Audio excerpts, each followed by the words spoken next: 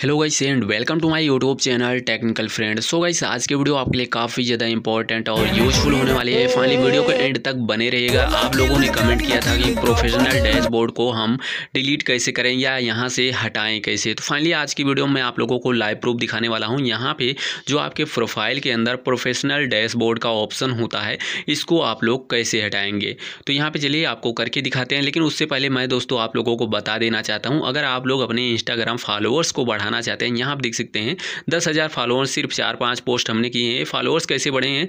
सारा कुछ आप लोगों को इस, आगे मैं इस चैनल पर वीडियोज़ अपलोड करके बताता रहूँगा। इसलिए चैनल को आप लोग सब्सक्राइब कर लीजिए। इससे आपको ही बेनिफिट होने वाला है और कुछ बेनिफिट हमें भी हो जाएगा। इसलिए इसको सब्सक्राइब कर लीजिए चैनल को।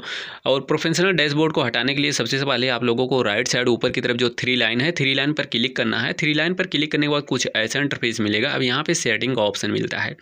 सेटिंग के ऑप्शन पे जैसे ही आप लोग क्लिक कर देते हैं, यहाँ पे कुछ इस तरीके से ऑप्शन आपके नज़र आएँगे फ़ोन में।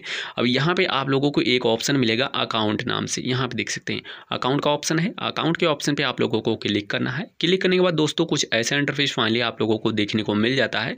सारा यहाँ पे अकाउंट से रिलेटेड सेटिंग आप लोग कर सकते हैं। अब जस्ट हम नीचे आते हैं। यहाँ पे एक ऑप्शन मिलता है स्विच अकाउंट टाइप का। इस पर जब आप लोग क्लिक करेंगे तो यहाँ पे दो ऑप्शन मिलते हैं। दोस्तों, अभी वीडियो को स्किप मत करिए क्योंकि आपको आगे और बेनिफिट मिलने वाले हैं। यहाँ पे जब इस पर क्लिक करते हैं, स्विच टू पर्सनल अकाउंट का ऑप्शन देखने को मिलता है और जैसे हम स्विच टू पर्सनल अकाउंट पर क्लिक करते हैं तो इसके बाद यहाँ पर आप लोग देखेंगे सारा जो दिखा रहा है, अगर प्रोफेशनल डैशबोर्ड को पर्सनल अकाउंट में जो है यहाँ पर कन्वर्ट कर देते हैं तो क्या क्या आपको यहाँ पर लॉसिंग होगा यहाँ पे सारा कुछ दिखाई दे रहा है। प्रोफेशनल डैश मोड में हम इनसाइड वगैरह देख सकते हैं। इससे कोई भी दिक्कत नहीं पर्सनल अकाउंट में कर देंगे तो कोई दिक्कत नहीं दोस्तों। आपको टेंशन नहीं लेना सिर्फ़ एक कन्फर्मेशन करने के लिए दिखाता ज़रूर है। तो यहाँ पे देख सकते हैं हमने स्विच कर दिया। अब यहाँ देख सकते हैं प्रोफेशनल डैशबोर्ड का ऑप्शन गायब हो गया। और आप लोगों को बता दो प्रोफेशनल डैशबोर्ड का यूज़ क्या होता है? उसका यूज़ बस इतना होता है दोस्तों कि आप उस पर क्लिक करके आप देख सकते हैं आपकी पोस्ट कितने लोगों के पास पहुँचे कितने फॉलोअर्स मिले किस कंट्री से मिले मेल है फीमेल है सारा कुछ आप लोग देख सकते हैं। बाकी वीडियो पसंद आए तो लाइक ज़रूर करें।